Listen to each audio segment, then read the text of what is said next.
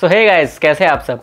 स्वागत है आपका हेल्प हिंदी में और मेरा नाम मनीष। और दोस्तों, आज की इस वीडियो में हम बात करने वाले हैं पीसी गेम के बारे में। और दोस्तों, ये कोई ऐसा वैसा पीसी गेम नहीं है, ये पीसी गेम है प्योरली मेड इन इंडिया इसीलिए इस वीडियो में आपको इस गेम के बारे में बताने वाला हूँ। दोस्तों, इस गेम को जितना टेंशन मिलना चाहिए, शायद उतना टेंशन नहीं मिला है, क्योंकि किसी बड़े यूट्यूबर ने इसके ऊपर कोई वीडियो नहीं बनाई है। लेकिन मेरी बात मानिए, एक बार इस गेम के बारे में आप जान लेंगे। दोस्तों, इसके जब आप ग्राफिक देख लेंगे तो आप खुद को इसको खेलने से नहीं रोक पाएँगे।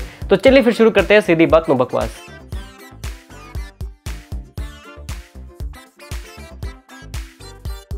दोस्तों, जिस गेम के बारे में मैं बात कर रहा हूँ, उसका नाम है राज़ी एंड एंशियंट इपिक जो कि एक एक्शन एडवेंचर गेम है और ये सिंगल प्लेयर गेम है, इसमें केवल एक ही बंदा इस गेम को खेल सकता है। तो चलिए अब बात कर लेते हैं इसके स्टोरी लाइन के बारे में। तो जो इसका स्टोरी है, वो थोड़ा सा आपका पौराणिक गथाव जैसा ही है। दोस्तों, इसमें एक लड़की होती है, राज़ी, जिसका एक छोटा सा भाई होता है, जिसका नाम होता है गोलू। और वो दोनों मिलकर क्या करते हैं, मेले में जाते हैं और अपने नाटक का प्रदर्शन करते हैं।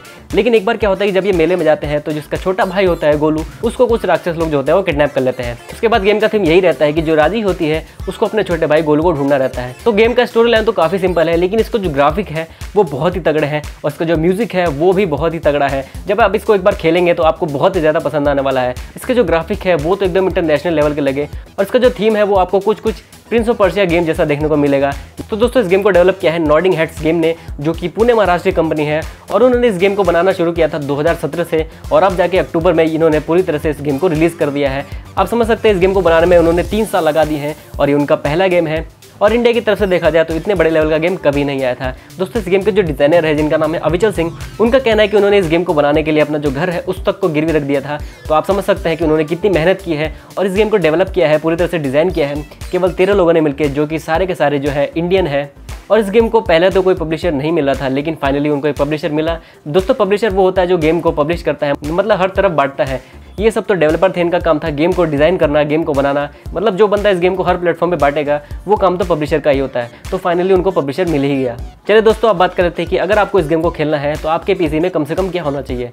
तो दोस्तों, इस गेम को खेलने के लिए आपके पीसी में कम से कम आठ जी का रैम होना चाहिए और उसमें कम से कम दो जी का ग्राफिक कार्ड होना चाहिए और कम से कम आई का प्रोसेसर होना चाहिए। तभी आप इस गेम को आराम से खेल सकते हैं। और दोस्तों, ये जो गेम है आपको पीसी पे एक्सबॉक्स पे और भी काफ़ी सारे जगह पर देखने को मिल जाएगा, लेकिन फ़िलहाल ये आपको मोबाइल में देखने को नहीं मिलेगा। और दोस्तों, बात करें इसके प्राइस के बारे में। जी हाँ दोस्तों, इस गेम को खेलने के लिए आपको कुछ पेड भी करना पड़ेगा।